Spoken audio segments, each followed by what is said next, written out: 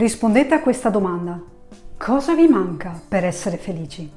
Bentornati su Talking Page e benvenuti in questo nuovo video. Io ve lo presento subito questo libro magico, profondo, bellissimo di Simona Arzori, Cosa ti manca per essere felice? Libro che ho voluto leggere perché conoscevo a grandi linee la storia di questa ragazza incredibile, c'è poco da dire, ma volevo ascoltare la storia narrata da lei stessa. È un libro che metterò sicuramente nella playlist dedicata al miglioramento personale. L'ho creata l'anno scorso, sto aggiungendo libri un po' alla volta e questo sicuramente merita un posto d'onore in quella lista lì, anche perché dentro questo libro Simona fa riferimento alla legge di attrazione e mi trova d'accordissimo sui vari concetti che lei va esprimendo. Il concetto cardine di questo libro è che i limiti spesso, anzi il 99,9% delle volte, ce li imponiamo noi stessi, siamo noi a bloccare qualsiasi nostra iniziativa. Quando pensiamo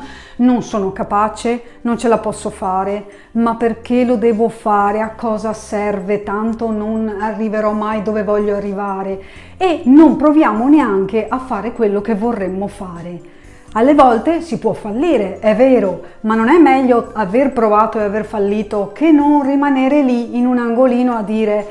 avrei voluto provare ma ho avuto paura, perché ragazzi quando si arriva a un certo punto della vita o anche alla fine della vita stessa ci si guarda alle spalle e secondo me è meglio avere dei ricordi di questo tipo, cioè ci ho provato e magari ci sono riuscita oppure ci ho provato e ho fallito, piuttosto che ritrovarsi a dire perché quella volta non ci ho provato, perché non ho almeno tentato di fare quella cosa che avevo in mente, mi sarei anche divertita, magari non sarebbe andata in porto, ma intanto mi sarei divertita, mi sarei messa alla prova, avrei provato nuove emozioni, perché no, sarei cresciuta ancora di più, mi sarei anche migliorata, perché anche dai fallimenti si può trarre qualche insegnamento buono a farci crescere, a farci cambiare strada o a percorrere una strada che non avremmo mai percorso. E Simona l'incoraggiamento ce l'ha avuto già dai genitori eh, specie da una madre ultra positiva, sempre col sorriso sulle labbra, sempre pronta a risolvere i problemi senza sbraitare, ma con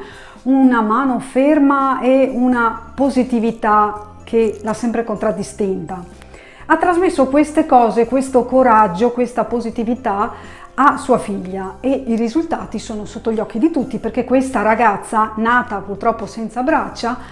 ha messo in atto ha realizzato praticamente ogni sogno che si era impuntata di voler realizzare. È diventata una ballerina, ha viaggiato per il mondo a un sacco di festival, ehm, supportando la causa dei disabili, facendosi portavoce di queste persone. È diventata una pittrice e i suoi quadri, che sono contenuti anche, alcuni quadri sono contenuti dentro questo libro, rivelano un'anima eh, assolutamente frizzante, amabile, piena di vita. I suoi quadri sono pieni di vita, di emozioni. Tu li guardi e veramente dici qui c'è un pezzo d'anima di questa ragazza. Poi cosa ha fatto? Ha fatto anche sci nautico, ebbene sì, insomma non si è fatta fermare da niente perché lì dove c'è la volontà c'è anche il modo di realizzare certe cose. Questo libro non è solo la sua storia personale, ma anche la storia di chi l'ha circondata per tutti questi anni, quindi si racconta un po' la storia dei suoi genitori,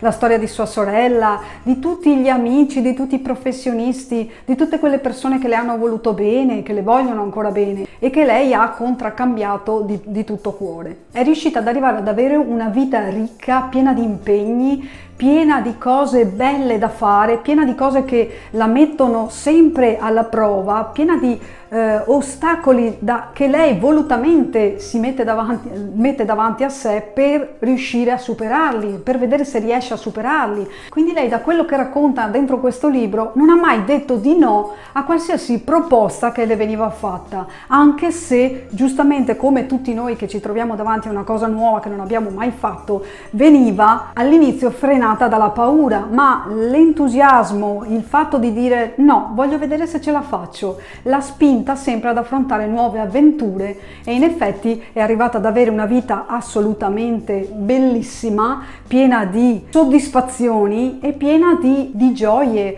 di ricordi che le rimarranno anche quando sarà più anziana. Mi è rimasta impressa una cosa che lei dice in questo libro, è che la felicità non dovremmo mai farne un'ossessione, perché la vera felicità, quell'euforia, quel cuore che batte a mille, quella assoluta soddisfazione, la proviamo poche volte, magari quando riusciamo a fare delle cose come è successo a lei, che ha fatto degli spettacoli di danza accanto a ballerini strafamosi. E invece lei dice che quello a cui dovremmo mirare è la serenità, che è una forma di felicità più facilmente ottenibile, ovvero sia è anche quella forma di felicità che poi ci fa arrivare a provare quell'euforia di cui parlavo prima, perché se di base non si è ottimisti, positivi, sereni, contenti di ciò che si ha, la vita non ci presenterà mai quelle occasioni che ci vengono incontro quando noi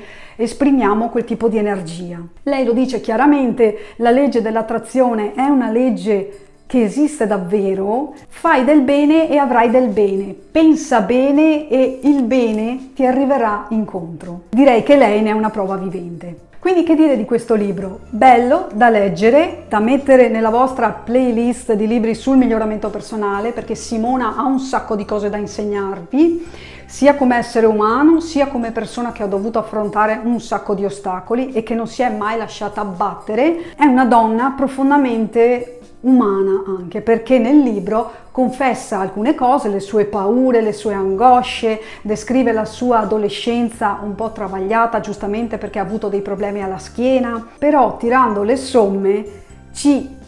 aiuta a capire che tutti noi possiamo avere una vita piena, una vita ricca. Basta solo non farsi fermare dai nostri limiti autoimposti o imposti da altri. Ecco, non ascoltiamo chi ci dice non sei capace, non ce la puoi fare, perché alla fine se non ci credi tu, chi ci crederà? Era una pubblicità se non sbaglio, vero? Se non ci credi tu, chi ci crederà? Quindi crediamoci noi per primi a ciò che vogliamo fare, ai sogni che vogliamo realizzare, non facciamoci fermare da nulla, proviamoci, almeno proviamoci e ci accorgeremo che il più delle volte un primo passo, un primo tentativo porta altre cose, altre persone ci arriveranno incontro, altre situazioni ci aiuteranno, le cose si incastreranno in modo da farci arrivare alla meta dove vogliamo arrivare. Consigliato come libro, io vi ringrazio di aver guardato questo video e vi aspetto come sempre alla prossima. Ciao bella gente!